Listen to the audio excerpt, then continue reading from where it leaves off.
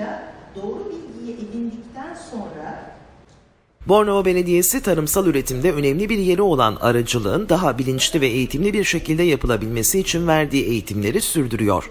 Arıcılık eğitimlerinin yeni dönemi 12 Ocak Cumartesi günü başladı. gelişmekte olan ülkelerde de arıcılığın çok önemli bir faaliyet olduğunu görüyoruz.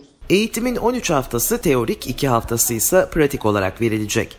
75 kursiyerin katıldığı eğitimlerin son 2 haftasındaki pratik eğitim, Bornova Belediyesi'nin ilçeye kazandırdığı 22,5 dönümlük özel aralıkta verilirken, eğitime katılanlara arıcılık malzemeleri ve arılı kovan da hediye edilecek.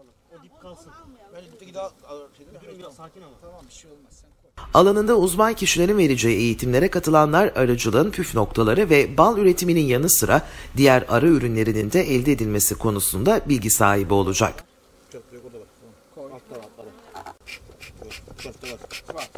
Bornova Belediye Başkanı Olgun Atilla tarımsal kalkınmanın önemine dikkat çekerek arıcılık tarımsal faaliyetler içinde önemli bir yere sahip. Sadece bal üretiminde değil diğer tarımsal ürünlerin veriminin arttırılması noktasında da desteklenmesi gereken bir alan. Bornova Belediyesi olarak yüksek getirisi olan arıcılığı özellikle kırsal mahallelerimizdeki vatandaşlarımızın öğrenmesi ve uygulaması için çalışmaya devam edeceğiz dedi. İnşallah hep beraber. Sağ olun. Teşekkür ettim. Çok sağ olun. Sağ olun. Sağ olun.